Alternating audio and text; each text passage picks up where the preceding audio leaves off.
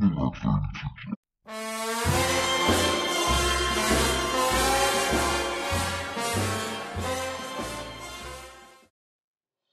good afternoon everyone. Welcome to Nik Nak's Old Peculiar or my YouTube channel, Mr. Cuddy2977.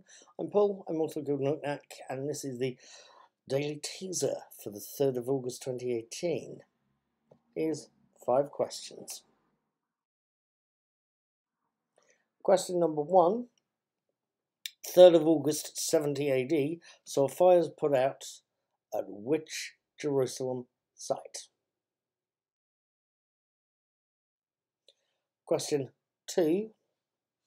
Question two. The first boat race between Yale and Harvard universities took place on the 3rd of August 1852. Who won that first race?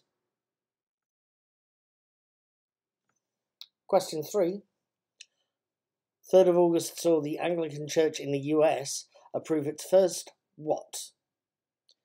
Jewish bishop, female bishop, or gay bishop? Question number four. 3rd of August saw the highest temperatures recorded in Britain, recorded at a Leicestershire weather station on the 3rd of August of which year?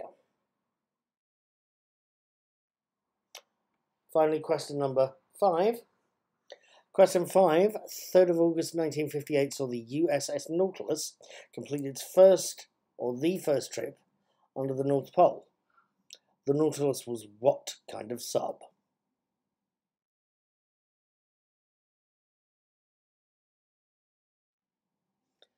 Right, that's those done. If you'd like to put in your answers, there's a link to the blog under the YouTube channel. You can click on that. It will take you to the relevant page. Hit post a comment. Feel free to have a go. There's no prizes. It's purely for fun and entertainment. Yours or mine. Let's see what we can do. Have a good day.